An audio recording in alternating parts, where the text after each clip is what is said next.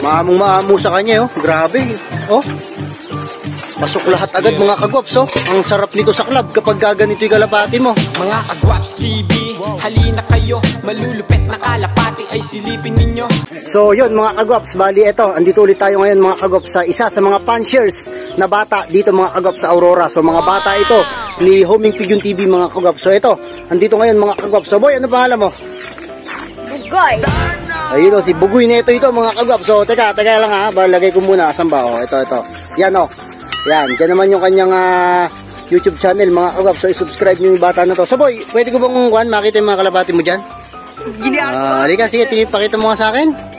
Di pa nakapasok eh, mga kagops. Ito, ang ganda ng kulay oh. Teka lang ha. Ang ganda ng kulay oh. Ayun oh, ayun oh, mga kagops oh. Anong kulay ba tawag yan? Ang pula niya oh. Kalawang. Grabe, kulay kalawang nga mga kagops. Ayan oh. Ang gandang ibon nito oh. Ayan oh, mga kagops. Oh, papapasukin daw ni Bugoy mga kagwaps. So ito, ah, alam ko mga kagwaps, nag street race tong bata na to eh. Kaya nasa linya natin to mga kagwaps. So tuturuan natin kung paano ba mga kagwaps na magkaroon ng ah, isang pang street race na kalapate. So ang dami niyang kalapate dito mga kagwaps. Ayan oh. Mga off color to. Grabe, sipag ng bata na to. Kita nyo, kahit bata lang mga kagwaps, kayang-kaya niyang sustentuhan yung ganito karaming kalapate. So sa ibang mga bata, sigurado ko hindi niya ka, hindi nila kayang sustentuhan yung ganito kasi ah, aminin man natin at hindi, ang mahal ng patuka ng kalapati ngayon. Pero itong bata na to mga kagwaps, meron dito. Tapos ayan, meron pa dyan, oh. kilalang kilala siya ng kalapati niya mga kagwaps. Oh, maamong maamo sa kanya, oh. Grabe. Oh. Pasok lahat agad mga kagwaps, oh. Ang sarap nito sa club kapag gaganito yung kalapati mo. Pag nilagyan niya ng patuka, oh, dumidiretso agad. Yung kalapati natin, mga kagwaps, sina high blood na tayo, hindi pa napasok sa kulungan. Ayan sila, oh. Ang galing mag-alaga ng bata na to, mga kagwaps. Hmm. Nagkukumaho sa pagtuka ng kalapat ng pagkain o ng patuka. O wala na, kanina ang daming nakalabas dito ngayon, wala na mga kagwaps. Ayun o, pasukan agad. O, kayo rito, pinapakain niya rin dito. Oh, kita nyo naman, daig pa tayo mga kagwaps. Oh, wala na, malinis na malinis na rito sa taas. Oh. Hmm. Ayun, oh, oh, pasok na. Tingnan nyo, papakita ko sa inyo kung gaano kagilas ng bata na to. Oh.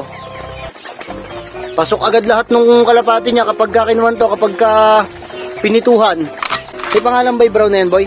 Kalawang. Si Kalawang, tawag mo dyan. Ano ba yan, pinang street race mo ba yan? Parang magaling pang street race yan ha. Ano mga kagwaps, ano sa tingin nyo? Mag-comment nga kayo dito sa baba ng video ko.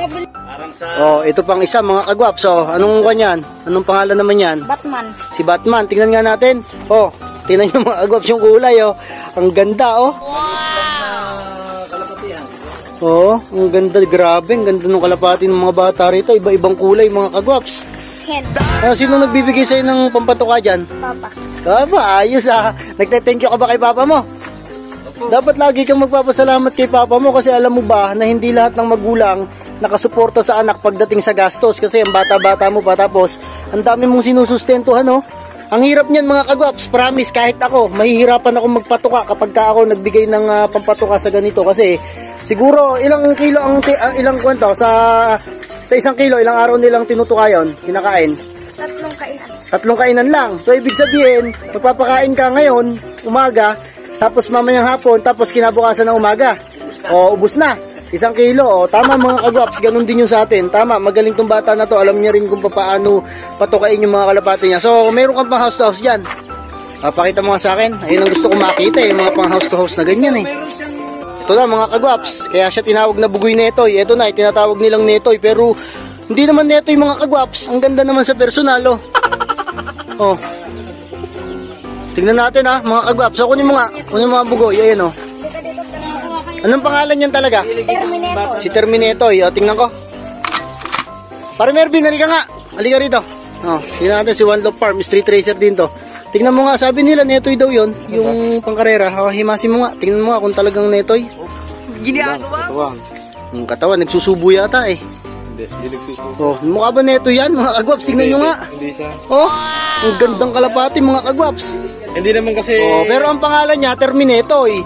Oh, mukha lang sinasabi lang nila ni Netoy. Scam yan, mga agwaps. Huwag nyo lalabanan to, magilas to. Wala sa hindi, joke lang mga agwaps. Ano, sa ibon, wala sa itsura. Oh, tama. Wala sa itsura na Wala ngayon. itsura yan.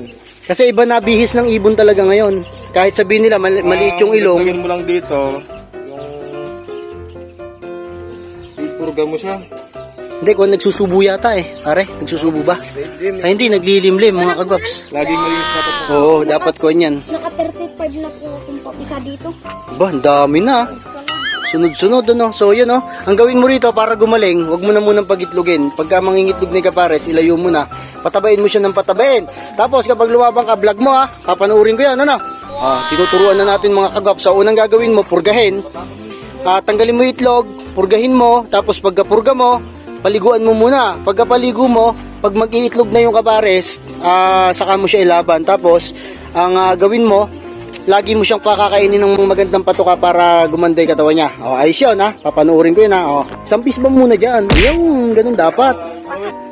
O, pagsampulin muna natin tong si Bugoy. O, hagi nga. O. Oops, o, sample natin. Hagis mo nga sa taas, tingnan ko nga. O, parorondahin natin to, mga kagwaps, ha? Tingnan natin to si Bugoy. O, one, two, three, bira. Ayun na. Oh, ang amo oh, mga kagwaps. Grabe, ang ganda rin. Ganyan mga paboritong kulay namin mga kagwaps eh. Yung mga checkered na ganyan. Ayun na, ops, ayun na mga kagwaps oh. So, dyan muna siya. Oh, yun na. ah. Talagang pang house to house to mga kagwaps. So, yan. I-good luck natin to mga kagwaps. Comment kayo sa baba na to. I-good luck natin si Bugoy sa magiging laban niya.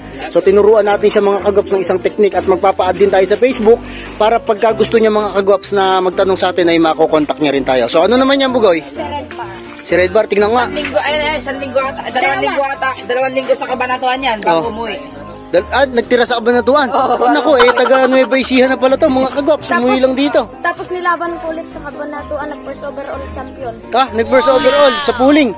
Lap winner. Lap winner tawag doon. Lap winner, oh. Tingnan natin. O, saan mo na ihagis yan sa susunod? Wala pa. Oh. Ay, nagpa-raging siya mga kagwaps. Nagpa-ronda si Red Bar.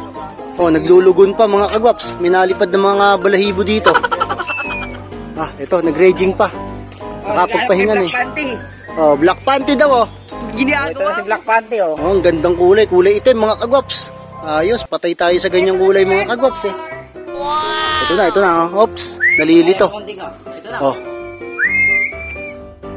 Op, nalilito sa atin, mga kagwaps, nakakakita. Ayan, papababain na po ni Bugoy.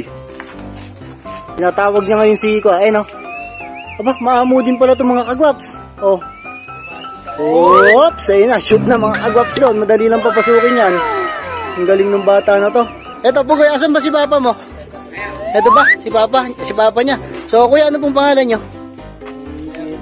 Jerry, oh, Kuya Jerry, suportado naman po kayo kay Bugoy, ano po. So, yun ako, sana sa lahat ng mga magulang dyan na may hilig sa kalapate, so gayahin nyo tong si Kuya Jerry kasi ayun, sinusuportahan niya si Bugoy kahit medyo magastos, ano kuya? Pero ayos lang. Ayun oh, so ayun oh, thank you, thank you kuya. Ayun oh, thank you. So ayan, alagaan nyo po tapos gumagawa rin po ng YouTube channel, 'di ba si Kuan ngayon, nagba-vlog na rin po si Bugoy. So sana balang araw maging successful po siya gaya nila nila Ikong tapos ni Homing Pigyon. So may pera din po sa social media kaya dire-diretso lang po tayo sa pagsuporta kay Bugoy. So, ayun mga kagwaps, bago tayo magtapos, syempre ito, Bugoy, isang malupit na kwan dyan, no? Aabangan ko si Iko na, si Terminator, ya, sa vlog mo, ano? Oh, laban mo, basta yung mga tinuro ko sa'yo, gawin mo yon. So, ayun mga kagwaps, sa lahat po ng hindi pa nakasubscribe dito sa bata na to, ito po mga kagwaps ang isa sa mga bata ni Homing Pigeon TV na mahilig sa pigeon racing o yung sa street race mga kagwaps. So, ito, gaya natin siya mga kagwaps. So, 100% nanunood to sa akin kasi Ho- ang hilig din nito street race. So, pag mga bata kasi na mahilig sa street race, talagang pinapanood po tayo kahit na yung mga ibon natin dun eh mahihina. so, ayan mga kagaps dito, subscribe nyo si Bugoy. Yan, ayan, dyan lalabas yan. So, ayan mga kagaps, muli po. Ah, salamat sa lahat ng mga sumusuporta sa Team Aurora, kay Homing Pigeon TV, kay Ikong Loop TV, dito kay Bugoy mga kagaps. At sa lahat ng may dito, may ah, YouTube channel, subscribe nyo. So, kukunin natin yan isa- isa-isa at ilalagay natin dito yan mga kagaps. So, yan mga kagaps, muli dito ko natatapusin ang video na to. This is Kuya Rai and you are watching Waps TV. Peace out.